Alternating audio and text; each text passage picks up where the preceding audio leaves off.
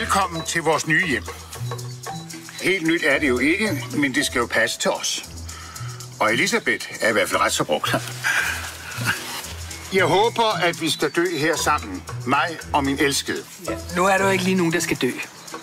Så velkommen til, og drik til I sejner. Skål.